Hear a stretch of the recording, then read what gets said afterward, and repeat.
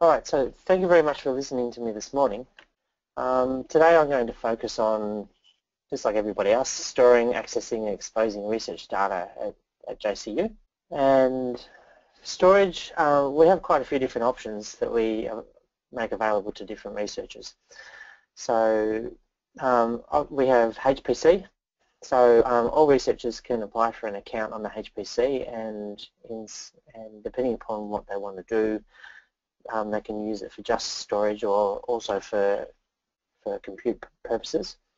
Um, JCU is very fortunate to be an RDSI regional node.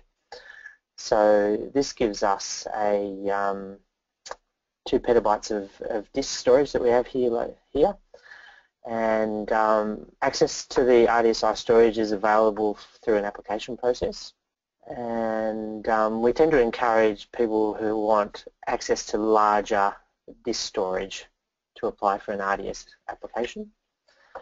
And the other storage we have is a system called research data, which is really, it's, it's a red box that's publicly exposed and um, this one's designed for completed data sets so that as there's a self-submission process or workflow that the users can go through they, so they can um, complete their records, they can attach files with a total size of up to 50 megabytes. So this is typically things like um, Excel spreadsheets um, and zip files that we normally see.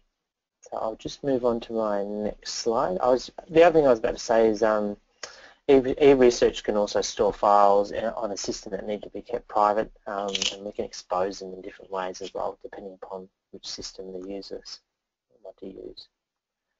So for access, again HPC um, standard access applies. Um, SSH, SCP, FTP, some of this um, is um, a bit challenging for some users so we try and use other systems to make access to their storage easier.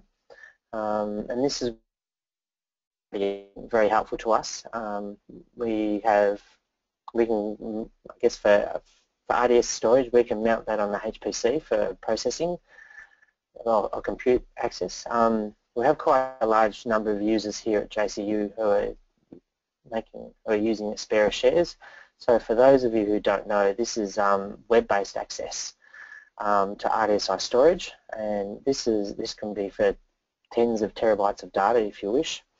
Um, this has been very helpful to some users in that if they're at a um, at a location where connectivity is poor, um, Aspera Shares has been able to give them good throughput in terms of uploading their data and accessing it.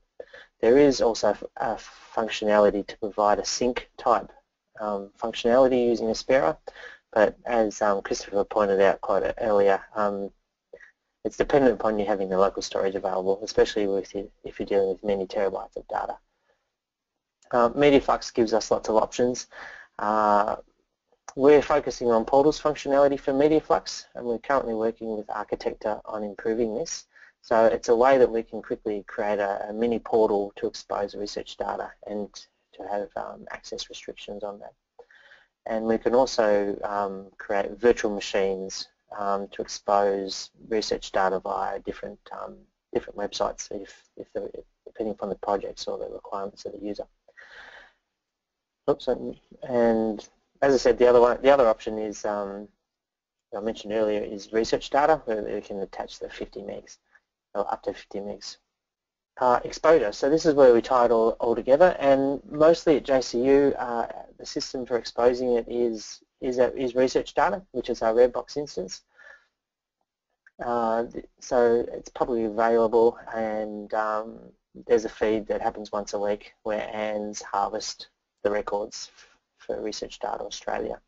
There's another system called the JCU Research Portfolio that is used, and um, records from uh, research data are, are um, displayed under a tab on um, Research Portfolio and um, this is to provide information about JC researchers but also to see um, what sort of research data is available from those researchers and um, the information in the research portfolio is built using um, the JCU research management system so maybe I'd just like to give a, a, bit of a quick demo if I can switch to my web browser.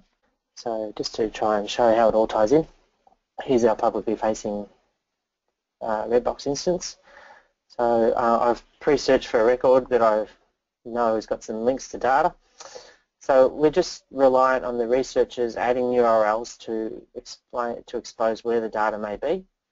And um, in this example here, there's a, uh, a, public link to where the actual publication has been made, but the data is stored with that publication.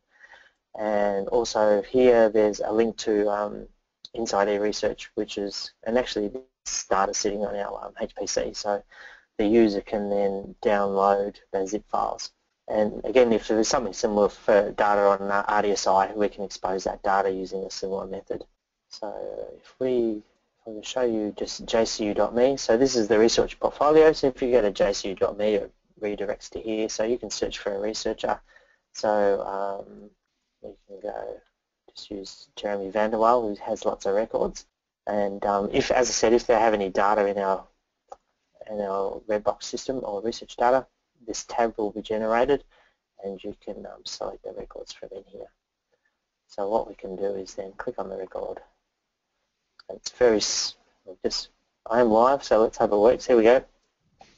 So this is just a, um, just a listing of the information you would see in Redbox. And if you wanted to, you can go off to the actual Redbox. Actually, this is a this is the actual data.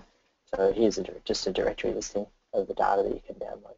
As we've probably all seen this before, but um, here are just the records that Jeremy has in um, Research Data Australia.